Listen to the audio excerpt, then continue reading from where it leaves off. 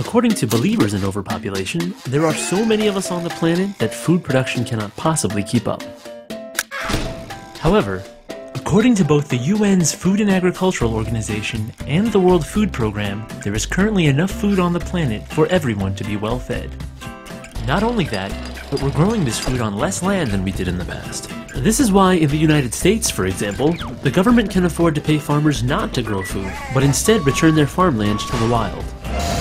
Modern technology also allows us to grow food on land where it would have been impossible to do so, even a few years ago.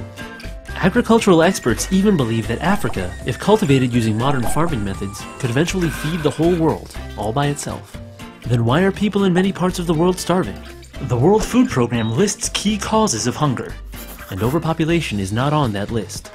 War, one of the leading causes of world hunger, destroys crops and disrupts relief efforts. Widespread poverty prevents many from buying the food that they need.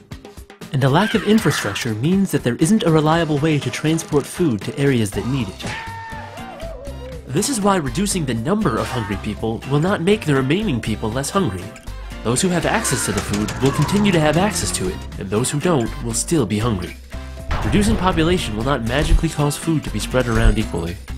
And blaming overpopulation for everything does nothing but distract us from the real problems that we actually have. Think about it.